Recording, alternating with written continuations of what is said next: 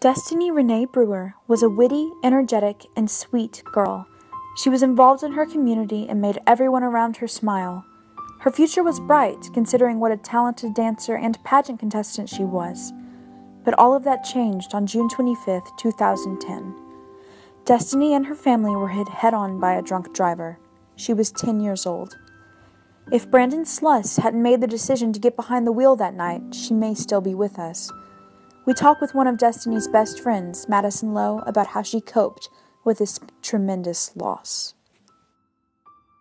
You know Destiny Brewer. I met her at dance, and we were both on a competition team there. Would you say that you all were best friends? Yes, absolutely. We clicked right away. We spent a lot of time together, and even though we went to different schools, we still always made time to see each other. And how old were you all? I was in sixth grade, so she was in fifth because she's a grade below me. Okay. Where were you when you heard the news that Destiny had been in an accident? I was at a friend's house, and her mom came in there and asked if any of us knew Destiny. And after I told her that I was really good friends with her, she told me that there had been a really bad accident that she was involved in. After Destiny passed away, how hard was the funeral to go through, especially at your age? It was really hard just knowing that she was up there in that casket and knowing that I wasn't going to see her again and that she was really gone was really hard for me, especially just because I was so young and I didn't really understand why it had happened to her. When you were in middle school, you were on the school dance team and they dedicated one of their dances to Destiny. How did that make you feel? It made me feel proud that I was doing something in honor of her, but it made me upset knowing that I was doing a dance for her, but not with her.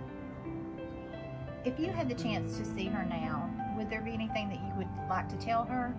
I would just tell her that I love and miss her very much, and that there's a lot of people that miss her and wish that she was still here, and that she's made a really big impact on a lot of people.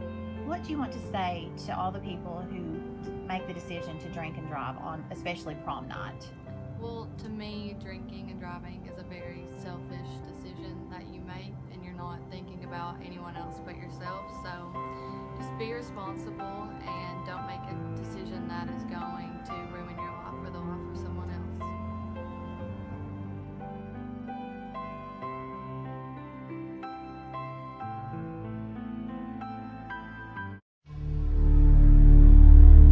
June 25th started out like every other day in the life of a 10 year old, laughing, playing games, and hanging out with friends. But for Destiny Brewer, it was a day that could be considered anything but ordinary. After a day at the pool, Destiny, along with her two friends, packed up their bags and headed out to her grandmother's SUV. They left the parking lot, headed for home. However, Destiny would never make it. While driving along Kentucky 40, the SUV was hit head on by a drunk driver.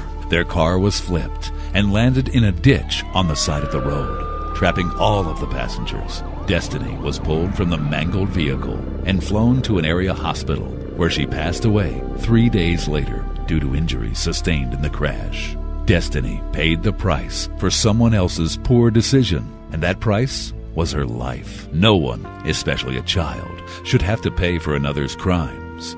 We can't bring back destiny, but we can save the lives of others. So it's time to take a stand and take back our roads by joining Destiny's Hope and helping to reform the DUI laws within the state of Kentucky.